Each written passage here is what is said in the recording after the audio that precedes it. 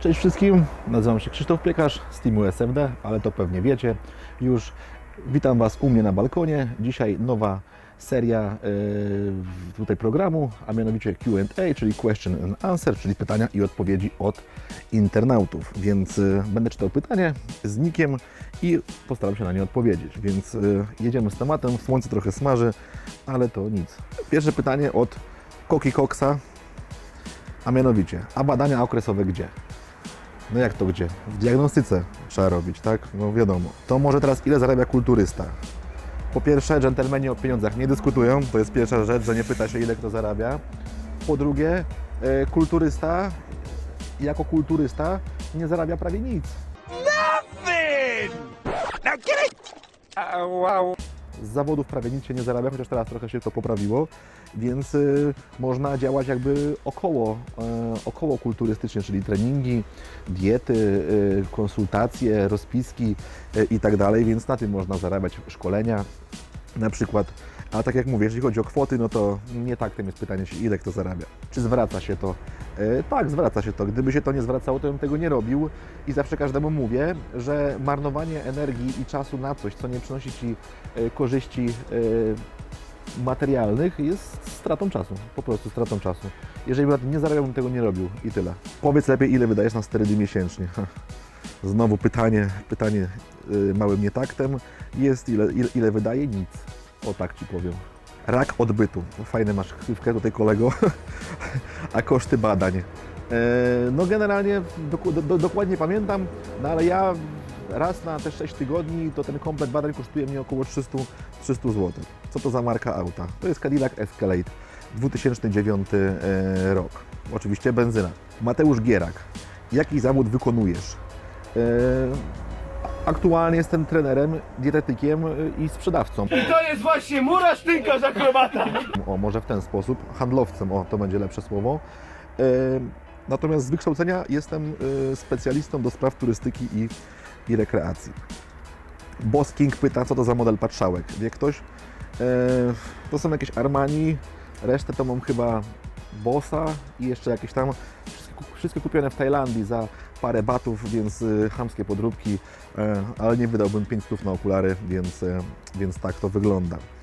Krzysiek y, pyta, Franek Kimono, gdzie do fryzjera chodzisz? E, Do Grodziska chodzę do fryzjera.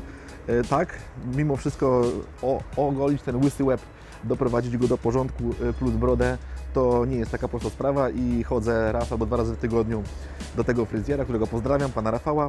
Adam Pietrzak pyta, jakiej muzyki słuchasz podczas treningu?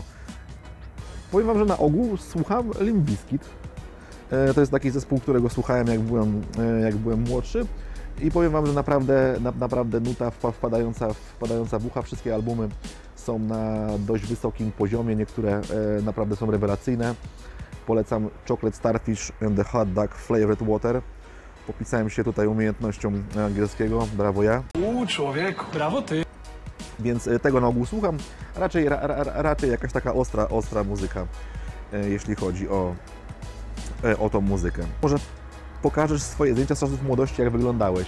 No i tu właśnie e, będzie taki projekt, a mianowicie jestem na etapie gromadzenia wszystkich takich zdjęć z okresu tam dwudziestu paru lat, y, więc myślę, że będzie taki materiał moja metamorfoza, więc będzie można go zobaczyć. Czy to Dwayne Johnson, pyta Karol Milda. Jakieś tam podobieństwo jest, ale powiem Wam, że kiedyś porównywali mnie do Van Damme, potem porównywali mnie do, do Grosickiego, teraz porównują mnie do Dwayne'a Johnsona i w sumie nie wiem, czy to dobrze, czy to źle, czy jestem aż taki nijaki, czy jestem aż taki wyjątkowy, już sam nie wiem.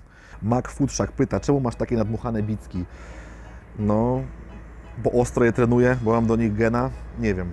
Sefcio TV pyta, gdzie znajduje się Burnejka Sports Gym? W Warszawie. Jaka ulica, nie powiem, wujek Google na pewno Ci e, podpowie. Sebastian Truchel pyta, jaki mam wzrost. 185 albo 6, w zależności od tego, jak jestem nawodniony, jak stanę i tak dalej. Ciekawe, czy Rok już wie, że ma w Polsce brata. może się dowie, może się dowie. E, Aczkolwiek, kurde, powiem Wam, że fajnie byłoby mieć zdjęcie z Dwayne'em Johnsonem. Myślę, że zrobiłoby dobrą robotę, więc e, pożyjemy, zobaczymy. E, Kamila pyta, Krzysiu, ile za rozpisanie diety? Prowadzę fanpage, trener personalny Krzysztof Piekarz na Facebooku. Wystarczy tam napisać wszystkie informacje, wszystkie informacje tam będę, że tak powiem, udzielał. No to wiadomo, chamskie pytania, ile tego teścia napierdalasz i tak dalej, to nie będę po prostu y, na to y, odpowiadał. Lubię właśnie z tak zwanych fikcyjnych kont takie pytania, więc w ogóle bez sensu, y, bez sensu to wszystko. Wszystko bez sensu! Powiedz mi, dlaczego taki drogi ryż? Pyta klakier widz. Akurat taki był, robiliśmy sesję, fu, nie sesję, tylko filmik nagrywaliśmy i w Lidlu. Pierwszy lepszy, y, pierwszy lepszy wziąłem, akurat tyle kosztował. Normalnie nie kupuję y, takiego, więc y, są to wszystkie pytania na ten moment. Jeśli byście mieli jeszcze jakieś pytania, no to wiadomo, że warto je zadawać w komentarzach. Na te co mądrzejsze odpowiemy, na te co głupsze raczej nie odpowiemy, aczkolwiek może odniesiemy się do nich w jakiś sposób.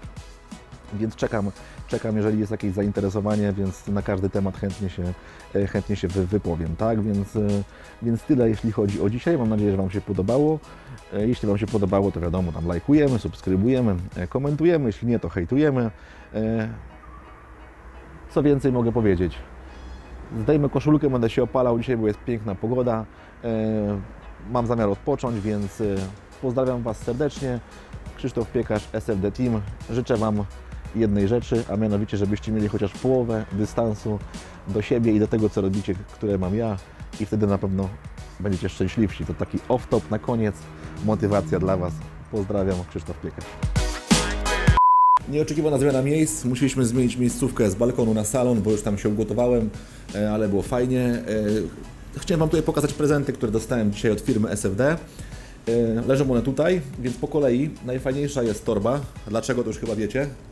Znacie tego pana. E, A już tak e, na serio, fajna sprawa, szczególnie na lato, wkłady chłodzące, dzięki którym można przenosić posiłki. Cztery pojemniki y, w środku, pillbox, pillboxik, tutaj miejscówki na jakieś tam proteinowe przekąski, więc naprawdę fajna, fa- fajna sprawa, na pewno będę używał szczególnie w tym czasie, a że czekają mnie ciągle wyjazdy, więc piękna rzecz. No i opakowanie, no cudowne. Białeczko o smaku biała czekolada z biszkoptem. Ja już próbowałem na targach. Bardzo, bardzo dobre białko. y, Miks koncentratu z izolatem warto spróbować. Naprawdę y, SFD y, ma taką gamę smaków, że na pewno na każde podniebienie coś się znajdzie, więc polecam, polecam, polecam. Posiłeczki proteinowe, czyli taki mini catering. Y, Również bardzo fajna y, sprawa dla tych, którzy nie mają czasu gotować. Y, Tu mamy akurat dwa smaki, a mianowicie kurczak w sosie śródziemnomorskim z kaszą bulgar i warzywami. Będę jadł zaraz.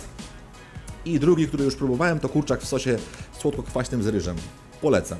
No i ostatnia rzecz to są adaptogeny, czyli substancje ziołowe, które koją układ nerwowy, pomagają w, e, nawet w traumatycznych przeżyciach, wspomagają pracę mózgu, działają kojąco.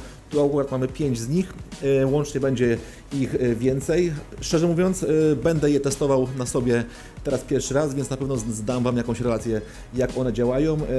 Każda, każdy produkt jakby działa na coś innego, między innymi na sen, ale tak jak mówię, troszeczkę więcej powiemy o tym, jak już sprawdzę je na sobie. Więc tak to wygląda. Dziękuję tutaj za prezenty.